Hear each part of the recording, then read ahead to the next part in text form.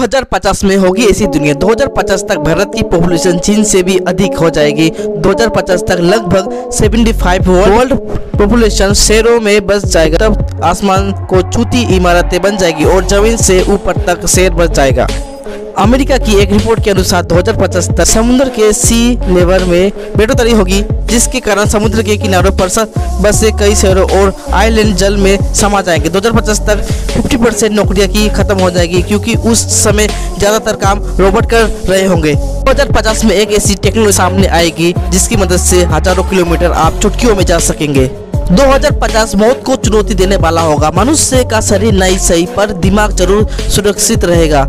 Future में इंसान दिमाग को कंप्यूटर के द्वारा जोड़कर हार्ड डिस्क में सेव किया जाएगा और उसका डाटा फ़ाइल के रूप में कभी भी इस्तेमाल किया जा सकता है। इस वक्त स्कूल पूरी तरह से डिजिटल हो जाएगा। बच्चों की पीठ पर भारी बस्ते नहीं बैग नहीं बल्कि उनके हाथों में टेबलेट या फिर लैपटॉप या स्मार्टफ़ोन होगा जिस जिनमें उनकी पढ़ाई की सारी किताबें स्टोर होगी।